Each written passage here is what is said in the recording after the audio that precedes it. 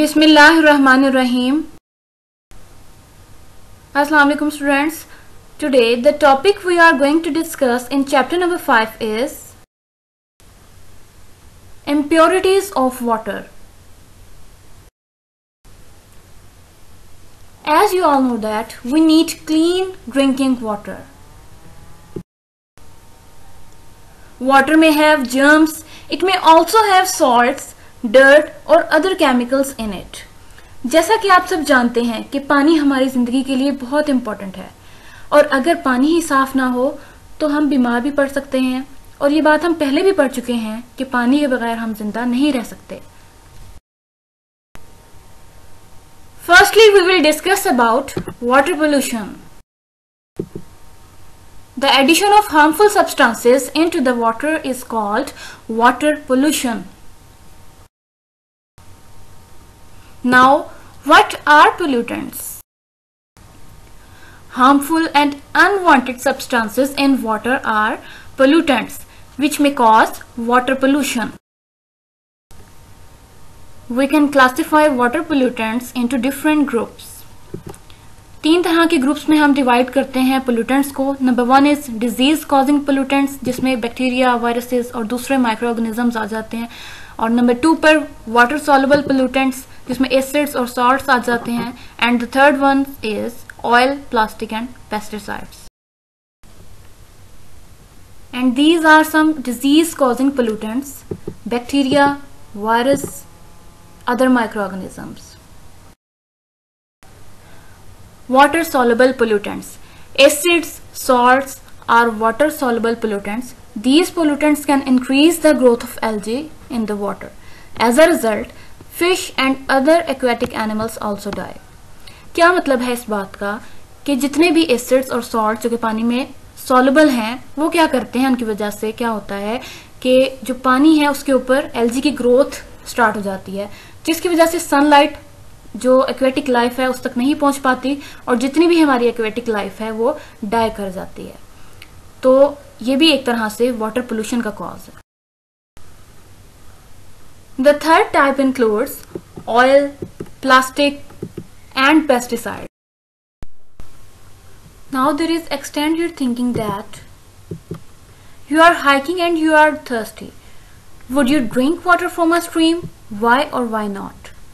आप हाइकिंग कर रहे हो, आपको प्यास लगी हुई है तो क्या आप किसी भी स्ट्रीम में से जो कि आपके पास से गुजर रही है, उसमें से पानी पीना पसंद करोगे क्यों और क्यों नहीं तो अगर ये क्वेश्चन मैं अपने आप से पूछूँ तो इसका क्या answer I will not drink as I don't know what is added in it upstream मुझे नहीं पता कि ये पानी कहाँ से आ रहा है और इसमें क्या शामिल है। So that's why I will not drink after studying the definition of water pollution and pollutants we will discuss about sources of water pollution ऐसे कौन से सोर्सेज हैं जो कि पानी की आलूगी का बायस है? नंबर वन पर ह्यूमन वेस्ट आ जाते हैं। Secondly industrial waste and thirdly fertilizers one by one इन तीनों को डिस्कस करेंगे और देखेंगे कि कैसे ये तीनों फैक्टर्स जो हैं, वो वाटर पोल्यूशन कॉज कर रहे हैं।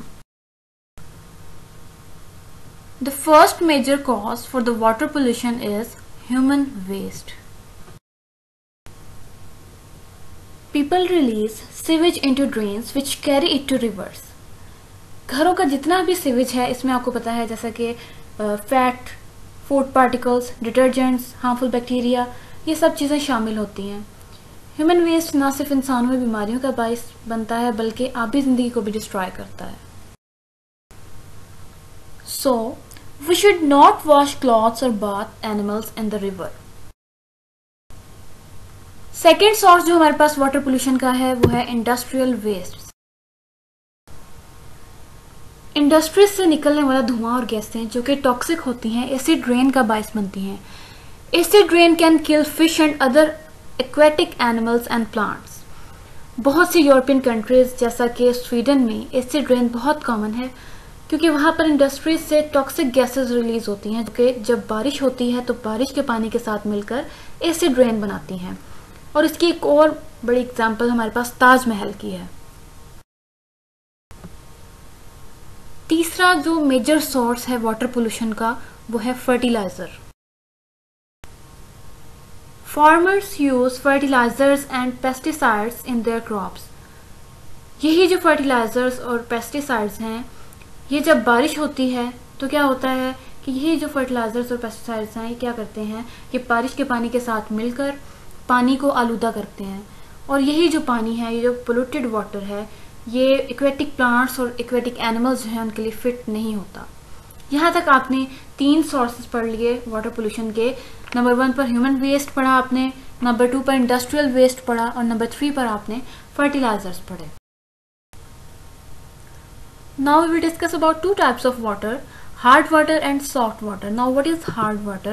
The water which does not give good leather with soap, but form curds ऐसा पानी कि जब उससे हाथ धोएँ तो अच्छी लेदर ना बने, अच्छी झाग ना बने, ऐसे पानी को आप क्या बोलोगे? Hard water what is soft water the water which gives rich lather with soap ऐसा पानी कि जब जिससे हाथ धोएँ तो क्या हो? अच्छी झाग बने, ऐसे पानी को आप क्या बोलोगे? Soft water hard water contains dissolve salts of chloride sulphate और कार्बोनेट ऐसा पानी जिसमें डिजॉल्व सॉल्ट्स के अमाउंट ज़्यादा हो जिसमें सॉल्ट्स की अमाउंट ज़्यादा हो, ऐसे पानी को भी आप क्या बोलोगे? हार्ड वाटर सॉफ्ट वाटर में हमारे पास किसी भी तरह के कोई सॉल्ट डिजॉल्व नहीं होते। Sea water is hard water ये बात हम लोग पहले भी पढ़ चुके हैं कि जो ओशन वाटर है, जो सी वाटर है, उसमें सॉल्ट्स की अमाउंट बहुत ज़्यादा होती है। इसकी वजह से वो ड्रिंकेबल नहीं होता। और उसे क्या बोलते हैं हम? हार्ड वाटर ऐसा पानी जो हम घरों में इस्तेमाल करते हैं the water we use in house is soft water वो क्या होगा? Soft water which is drinkable यहाँ पर आप हार्ड वाटर और सॉफ्ट वाटर में क्लियरली डिफरेंस देख सकते हैं कि हार्ड वाटर में सॉल्ट की अमाउंट ज़्यादा है, जबकि सॉफ्ट वाटर में किसी भी तरह के सॉल्ट डिजॉल्व नहीं है। There is another extend your thinking why do cities and towns purify water before it is supplied to homes क्यों जो है पानी को हम क्लीन करते हैं इससे पहले कि वो घरों तक पहुँच जाए सिटीज़ या टाउन्स तक पहुँच जाए तो इसका आंसर क्या होगा Cities and towns purify water before it is supplied to homes to make sure that there are no germs, dirt and pollutants and people get pure and clean water. पानी को purify करना इसलिए ज़रूरी है ताकि हमें पता चल सके कि उसमें क्या कोई जर्म्स तो नहीं है, क्या उसमें कोई डर्ट तो नहीं है, या फिर कोई ऐसे हार्मफुल पोल्यूटेंट्स तो नहीं है जो कि डिज़ीज़ कॉजिंग हो। यहाँ पर आपकी कुछ हाईलाइट पॉइंट्स हैं और आपकी लॉन्ग क्वेश्चन नंबर टू का आंसर भी बन रहा है। Your long question number two is what makes over water impure तो इसके आंसर में आप सबसे पहले यहाँ पर डेफिनेशन बताओगे।